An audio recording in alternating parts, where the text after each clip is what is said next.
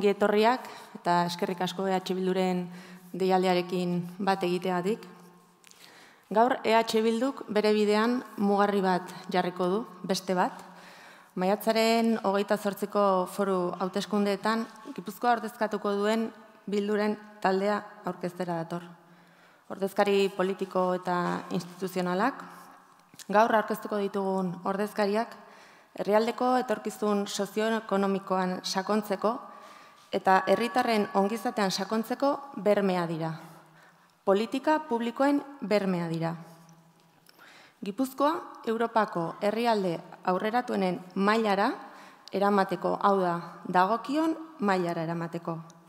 Emaizkiagu beraz eskerrek beroenak eta auspotu ditzagun txalo zaparradaz, aurretik duten ardurari eta erronkari, gogoz eta ilusioz eusteko.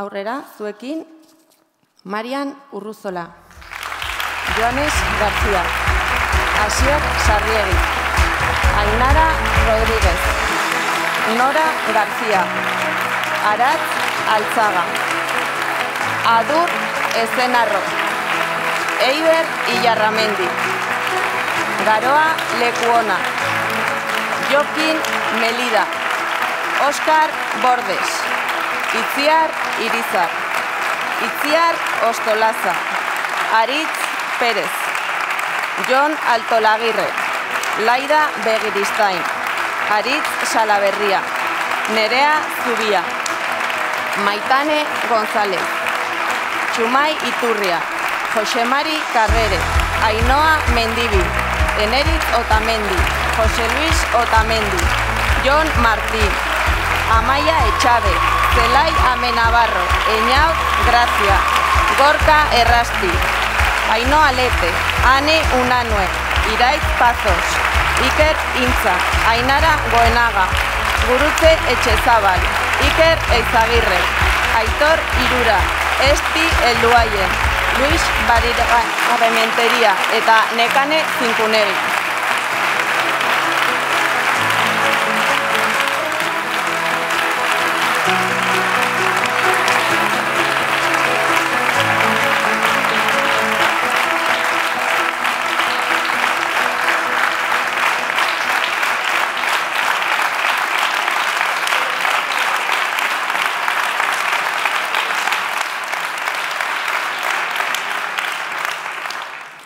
Hauek gure hautagaiak. Zenolako amaikakoa, eh? Gipuzkoan bestelako errealitate instituzional bat eraikitzea posible da. Eta EH Bilduk horretarako ambizioa du.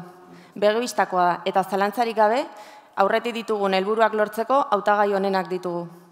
Horien guztien izenean, jarraian hitz hartuko duen pertsona, indartxu dator, gogotxu, ilusioz, donostiarra, kazedari profesionala, Eta gaur egun, gaztizeko parlamentuan, EH Bilduko ordezkatzen duen gobernu alternatibaren bozera mailea. Itz gutxidan esan da, edo beste modu batean, Gipuzkoa gobernatuko duen lehenengo emakumea. Zuekin guztiekin, maialen hiri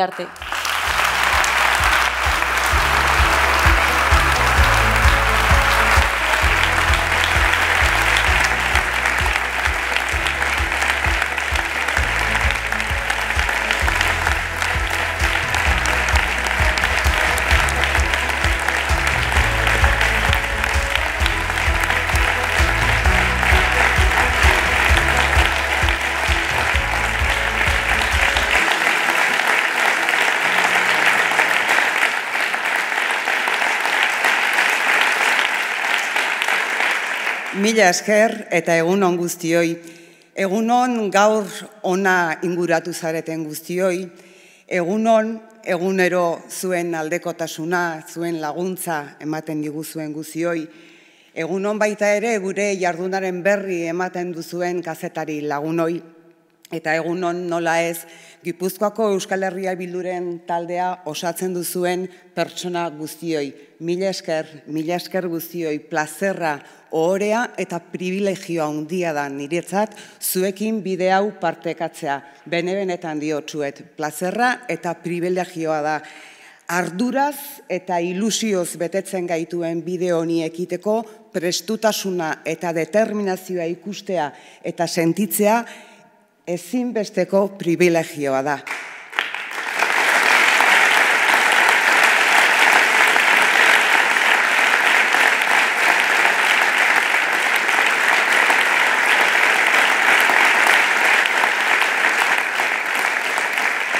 Ilabeteak daramatzat esaten inkonformista naizela, jendea konforme ikusi nahi dugulako, jendeak bere bizitza proiektuak garatu ditzan bultzatu nahi dugulako.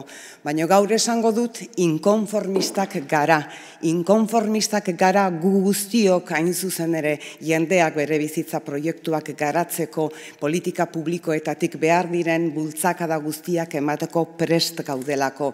Izan ere bakarrik, bakarrik urrunera heltzea ez da erreza, baina taldean askoz ere errezago egingo dugu. Eta horregatik gaur Gipuzkoako gehiengo sozial, gehiengo emozionala ordezkatzen duen giza taldea aurkezten gara hemen. Politikak herritarren pare evoluzionatu behar duela pentsatzen duen gizataldea gaude hemen.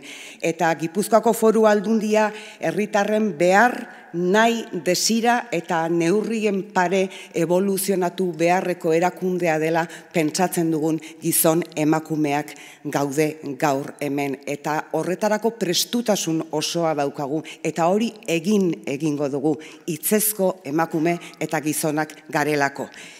Begibistakoa da garaiak aldatzen ari direla eta lehen ez geneuzkan arazo batzuk orain hementxe gure artean dauzkagun arazoak direla.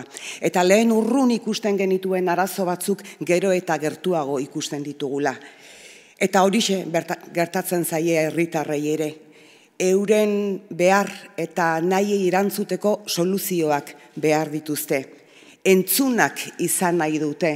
Eta bain eta berriro errepikatzen dut nik ezin daitekeela politika egin herritarren ahotsa, herritarren nahiak, herritarren beharrak, herritarren desioak entzun gabe. Bere biziko garrantzia duela herritarrei entzuteak. Bestela berriz ere politika urrun sentituko dute. Eta bestela berriz ere erakunden jarduna urruti sentituko dute. Euren erronkak, euren nahiak entzutea premiazkoa da. Gazte batzuk maiz esaten didate ez direla politikan islatuta sentitzen. Iruitzen zaiela ez dela beraientzako gobernatzen. Eta ulertzen diet, izan ere gaztei esan genien ikasteko, esan genien prestatzeko, eta esan genien horrela aukerak izango zituztela. Gazteek dakitena da, Gipuzkoan euneko amabosko bederatzi langabezian daudela. Europako bataz bestekoan, baino bi puntu altuagoa dela langabezia Gipuzkoan. Los y las jóvenes guipuzcoanos y guipuzcoanas saben que según el informe sobre población joven y vivienda, solo uno de cada seis jóvenes puede plantearse de manera realista emanciparse. 84.000 jóvenes, de 84.000 jóvenes, solo 13.600 pueden plantearse de manera realista emanciparse. Los jóvenes saben, además, que no se trata únicamente de poder abandonar la casa de sus padres y de sus madres, se trata de poder decidir sobre sus vidas, de poder construir en libertad y con garantías sus vidas.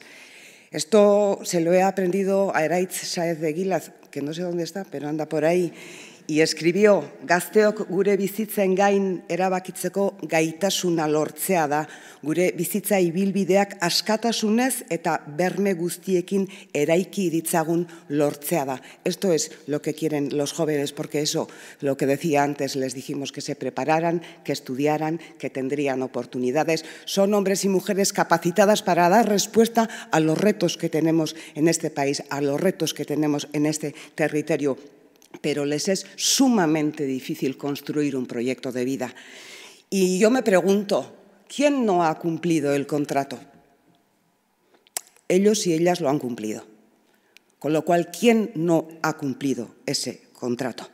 Inkestetan politikatik urrun daudela dioten persona hoien jarrera nola ez dugu ba ulertuko. Persona hoientzat mezu oso argi bat luzatu nahi nuke gaur. En Euskal Herria Bildu entendemos la política como la posibilidad de ofrecer soluciones a los problemas corrientes de la gente, a lo que les pasa cada día, a los problemas comunes de la gente. Porque lo que se va a dilucidar el próximo 28 de mayo es para quién y cómo se gobierna. Y cómo se gobierna. Y en Euskal Herria Bildu tenemos una amplia experiencia en gobernar y en demostrar que gobernamos oyendo y escuchando a la gente. Y nosotras y nosotros tenemos claro que es el momento de defender y apoyar las necesidades de la mayoría de las guipuzcoanas y de los guipuzcoanos. La ciudadanía guipuzcoana necesita garantías reales de que los actores políticos, las políticas, solucionaremos sus inquietudes, necesidades diarias a través de las políticas públicas. Y ese es el compromiso que hoy aquí adquirimos nosotras y nosotros. Es el compromiso que los hombres y mujeres de Euskal Herria Bildu adquirimos cuando nos unimos a este proyecto, desde el primer día que nos unimos a este proyecto, pero hoy renovamos ese compromiso y ofrecemos un nuevo equilibrio para Guipúzcoa.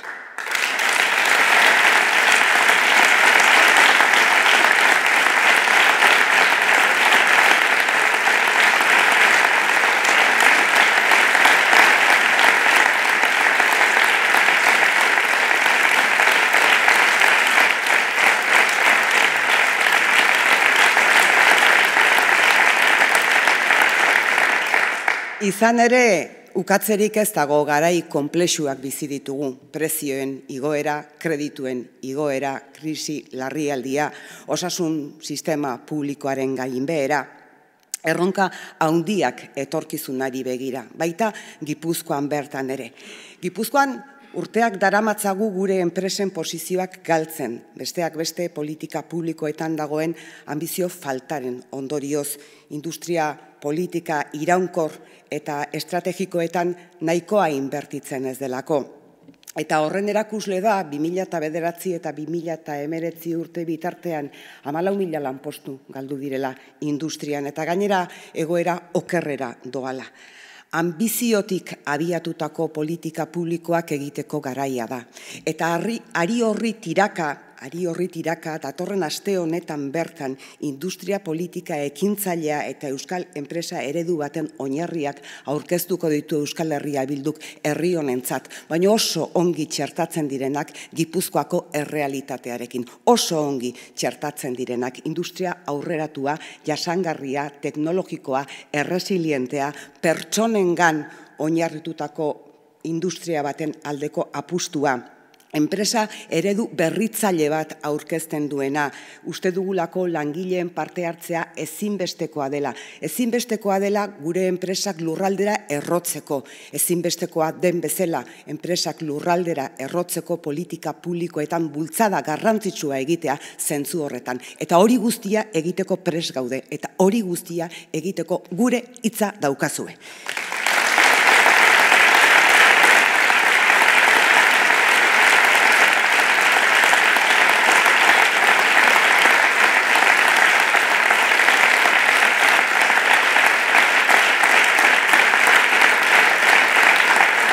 Porque sí, porque tenemos un gran margen de mejora, tenemos un gran margen de mejora en el ámbito industrial y empresarial, pero para esto también son indispensables, para empezar, un compromiso político claro y, desde luego, poner en marcha políticas públicas a favor del el empuje de todo ese sector desde la Diputación Foral de Guipúzcoa. Ejemplo de nuestro compromiso es nuestra propuesta de crear infraestructuras industriales sostenibles, rehabilitando y regenerando suelo para actividades económicas, recuperando 48 millones de metros cuadrados de suelo potencialmente contaminado en Guipúzcoa, 48 millones de metros cuadrados.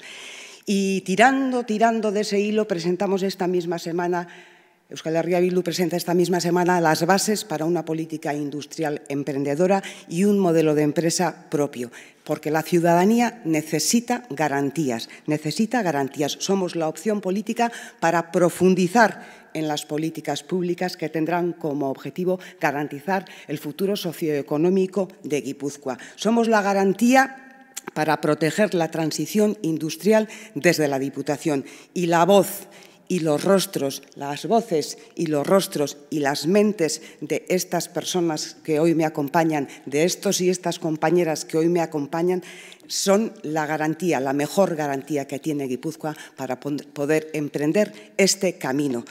Como tenemos que tener garantizados otros derechos, otros derechos, como son el derecho a ser cuidados a lo largo de nuestra vida en cualquier momento que lo necesitemos. Gure bizitzarain edozein momentutan zainduak izan behar baldin badugu, zaintza duina jasotzeko eskubidea daukagu. Eta zaintzen gaituztenek baldintza duinak izateko eskubidea dute. Borrokaz, borroka ibili beharrean zaintza duina aurrera eramateko eskubidea dute. Eta guk horri ere gure hitza ematen diogu eta politika publikoetatik gure bultzada emango diogula hitz ematen dugu gaur ere.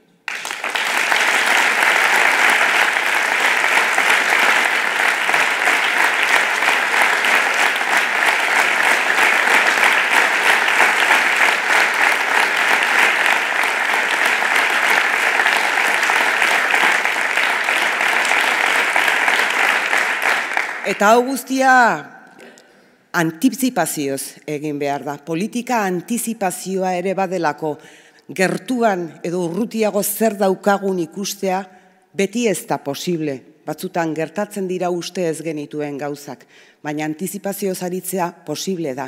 Eta guk badakigu gaur egun gipuzkoarren euneko geita iruko mabik irurogeita bost urte baino gehiago dituztela. Eta badakigu 2000 eta hogeita amargarren urtean hogeita 6,6 izango direla hogeita irurogeita bost urte baino gehiago izango dituztenak. Eta badakigu gaur egun euneko hogeita amazazpiko mabederatzi dependentzia egoera batean daudela. Beraz, argazki honek antizipazioz lan egitera interpelatzen gaitu, antizipazioz lan egitera deitzen gaitu zaintza sistema publiko komunitarioa doakutasunaren bidean transizio bat egitera interpelatzen gaitu. Eta hori da guk hartzen dugun konpromisoa. Gaixotzen garenean, ez gaituzte ekonomikoki penalizatzen, baina zaintza behar dugunan, dugunean, zainduak izan behar dugunean, ekonomikoki penalizatzen gaituzte. Eta hori ez da posible, eta guk hori ekiditeko bidea urratuko dugu eta horretan ere hitza ematen dizuegu. Korap...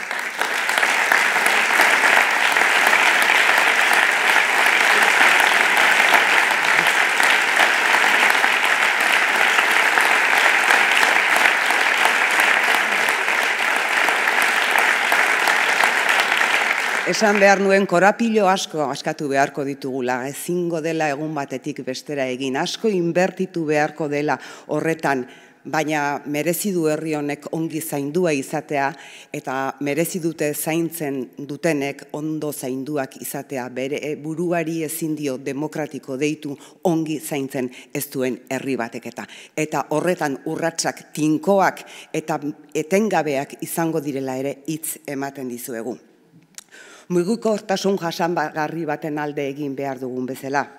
Krisi klimatikoak erronka izugarria jarri digu aurrez aurre eta presazko, premiazko urratsak eman behar ditugu CO2 emisioak murrizteko adibidez. Eta zentzu horretan, bagarraio publikoaren aldeko apustu sakona egin beharra daukagu. Lehen sektorearen aldeko apustu sakona egin beharra daukagu. Oso dependienteak garelako elikagaiei dagokionez eta subirautza beharrezkoa delako elikagaien arloan ere batetik herri libreagoa izateko, baina baita ere krisi klimatiko honi aurre egiteko hainbeste kontu dauzkagu, hainbeste hobetzeko margena daukagu, eta hobetzeko margen horrek alako ilusioa egiten digu, eta alako indarra ematen digu, jakizue, bene benetan gure indarguzia emateko pres gaudela. Edo zein kasutan, honi guztiari erantzuteko eta guztia egiteko dirua behar da. Eta, eta zentzu horretan fiskalitate justu eta progresibo baterantz egin behar dugula ere erabat konbentzituta gaude. Gehien daukanak gehiago ordainduz, nahiko gauza logikoa da, ezta? Gehien daukanak gehien ordainduz Europako gure tankerako hainbat herritan hasiak diran bezala. Gipuzkoako presio fiskala euneko hogeita emezortzi koma irukoa da. Eta Europako bataz bestekoa euneko berrogeita sei koma zazpikoa. Ikusten duzuen bezala, badago margena. Badago margena, baita, Araba Bizkaia eta Gipuzkoa eta Nafarroa arteko zenbait kontutan ere aztertuko dugu joango gara datozen egunetan xeetasun horiek guztiak ematen, baino badago margena eta batez ere badago margena gehiago duenak gehiago ordaintzeko, gutxiago dutenek gutxiago ordaindu dezaten. Eta honek eskatzen du hausnarketa bat, hausnarketa publiko bat, konpartitzea zer daukagun esku artean eta nola egingo dugun.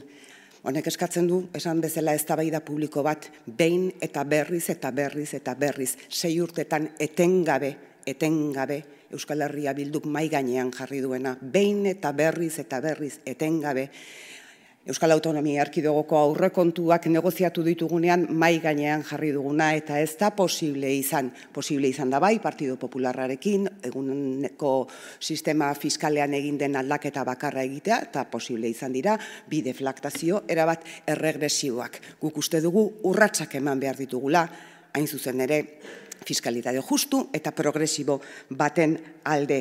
Eta horretan ere, badakizue, aurrera egingo dugu. Guk esaten duguna egiten dugu eta egiten duguna esaten dugu. Eta bide honetan, lehenago edo geroago, beti lorpenak datoz. Beti lorpenak datoz, herritarren mesederako. Beti iristen dira. Eta hau aipatuta, tartetxo bat egin nahi nuke. Tartetxo bat egin nahi nuke gogoratzeko Madrilera joatearen gure arrazaietako bat elkar bizitzan aurrera urratsak ematea izan dela.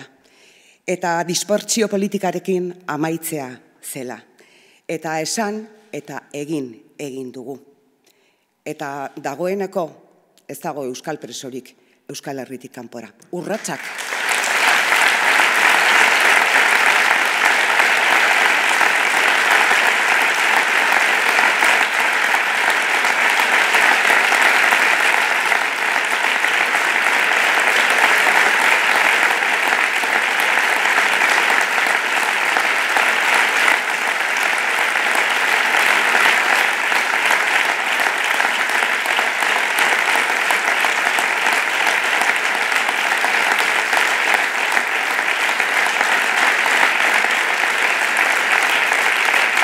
Esaten ari nintzen urratsak ematen jarraitu beharko dugula elkar bizitzan zalantzari gabe, baina ez dago euskal preso politikorik, euskal herritik kanpora.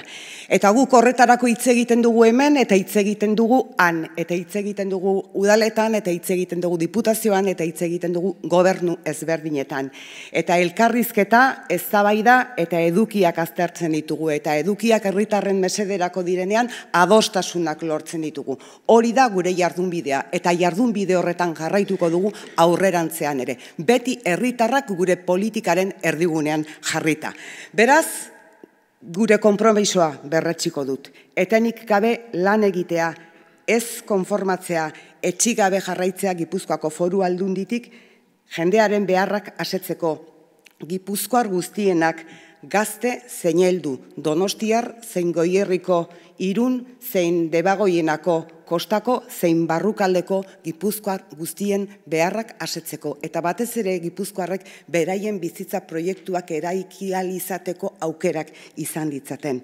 Eta helburu honekin aldundian eta aldundia bera soluzioen aldean kokatu nahi dugu. Soluzioen aldean kokatu. Beraz, balia dezagun maiatzaren hogeita zortziko aukera aukera baitugu aurrean, esku eskura daukagun aukera baitugu aurrean, esku eskura daukagun aukera delako, esku eskura daukagu eta lortu egin behar dugu.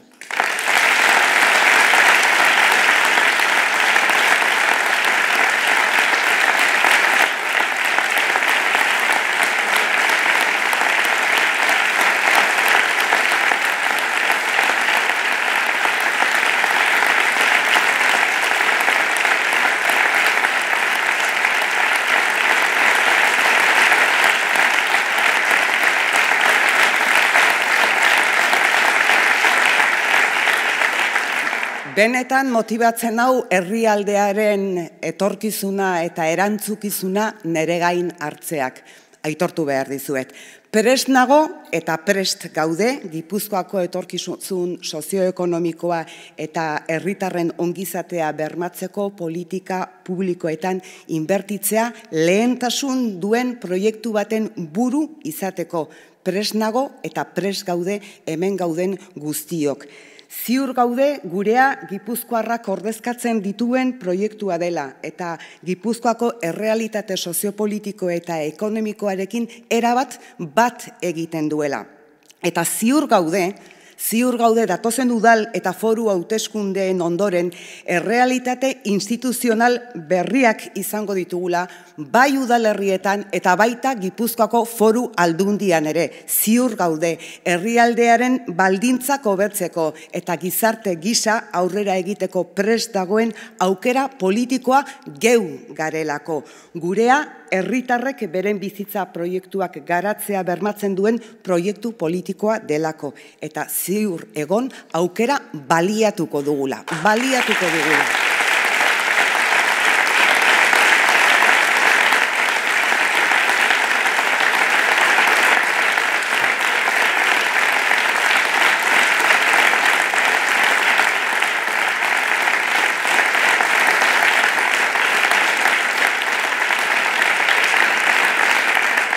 Me motiva, me motiva a asumir la responsabilidad del territorio, os lo he de confesar dado que creo que estoy y estamos preparadas y preparados para liderar un proyecto que tenga como prioridad invertir en políticas públicas para garantizar el futuro socioeconómico de Guipúzcoa y el bienestar de la ciudadanía.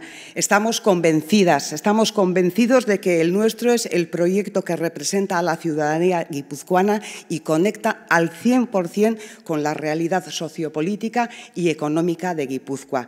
Y estamos convencidos convencidas y estamos convencidos de que tras las próximas elecciones municipales y forales vamos a tener nuevas realidades institucionales tanto en municipios como en la Diputación Foral de Guipúzcoa. Lo tenemos al alcance de nuestra mano y estamos convencidos y estamos convencidas.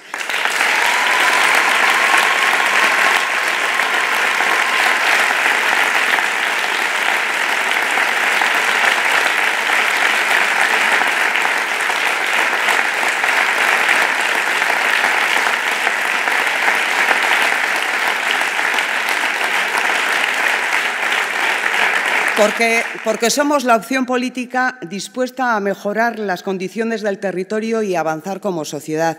El nuestro es un proyecto político para que la ciudadanía tenga, lo repito, sus propios proyectos de vida y estar y, y que esté segura y estén seguros los ciudadanos y las ciudadanas de Guipúzcoa para poder hacerlo. Y quiero que ellos y ellas también estén seguros de que, desde luego, nosotras y nosotros les vamos a ofrecer esa oportunidad.